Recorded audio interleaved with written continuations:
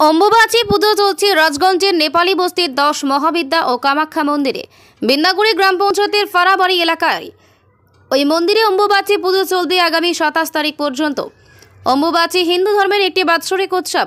লোকবিশ্বাস মতে প্রতি বছর আষাঢ় মাসের বিশেষ তিথিতে পৃথিবী বা ধারিত্রী মা ঋতুময়ী হয়।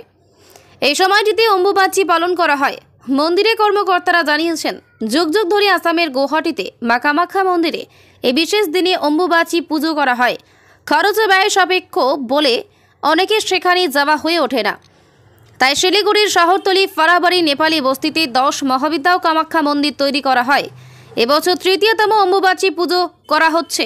রাজগঞ্জ শিলিগুড়ি ছাড়াও উত্তরবঙ্গের বিভিন্ন স্থান থেকে ধর্মপ্রাণ মানুষ আসেন এই মন্দিরে। এছাড়াও বহু মানুষের সমাগম হবে বলে মন্দির কমিটি আশাবাদী।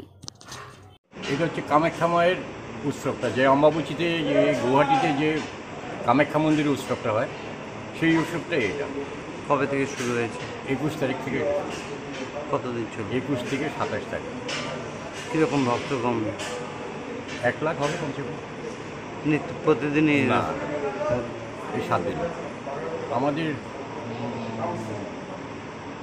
এখানে এখানে তো মোটামুটি কলকাতার থেকে আসছে, মালদার থেকে আসছে, দুর্গাপুরের থেকে আসছে, তারপরে আর শিলিগুড়ি আমাদের লোকালে তো আছে মানে যারা গুয়াহাটিতে যায়, অনেকের পয়সা নাই কত দূর যেতে পারে না, এখানেই আসবে, ভক্তগণ এখানেই আসবে। এইটা তো কামাখ্যা মন্দির।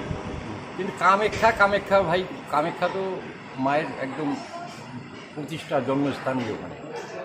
আমরা তার আগলে যে আমরা যাইতে পারি না যারা তারা এইখানে কামাখ্যা দেবী পূজা করবে। আমাদের পশ্চিমবঙ্গে আমার মনে হচ্ছে এই প্রথম একটা মন্দির হলো।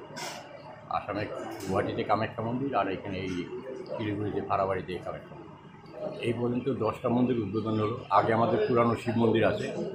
টোটাল এগারোটা মন্দির আমাদের এখানে দশটা মন্দিরের মধ্যে দশটা মন্দিরে দশজন মা আছে। প্রথমে আছে ভুবনেশ্বরী, তারপরে আছে মা মঙ্গলচণ্ডী কালী মাতা, তারা মা, কমলা কমলা মানে মনসা, তারপরে আছে ছিন্নমস্তা, ধুমাবতী, বগলা, তারপরে আছে মাতঙ্গিনী, তারপরে আছে ত্রিপুরা সুন্দরী।